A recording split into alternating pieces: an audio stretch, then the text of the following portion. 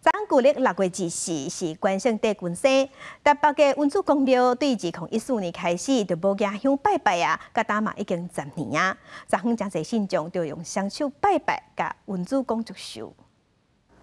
台北市文殊公庙信众真多，大家双手拜拜，诚心诚意向关圣帝君参拜。古历六月二四拜一这一天是关圣帝君节，民众专工来拜拜。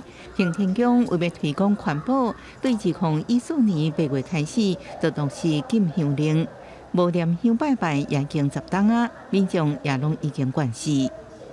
这个软化的问题啊，所以讲，咱这个宗教。哦，有对着咱这个时代的潮流，啊，我是感觉讲安尼真好。安尼环保，我觉得非常的好，很干净，即足清气上，啊，足庄严的。行天宫表示，将在地主善男信女伫透早六点半就来拜拜。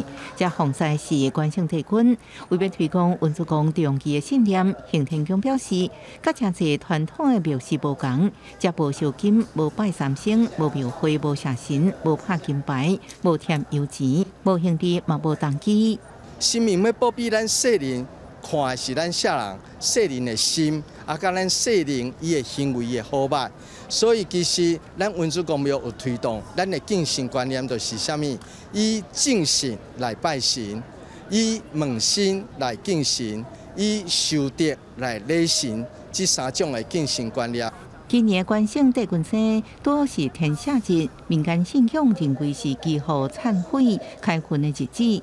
文殊公庙表示，宗教会当安定人心，也是劝人向善，也强调拜神上重视反省改过、行善甲积德。那诚心诚意，神明对家己保庇。记者综合报道。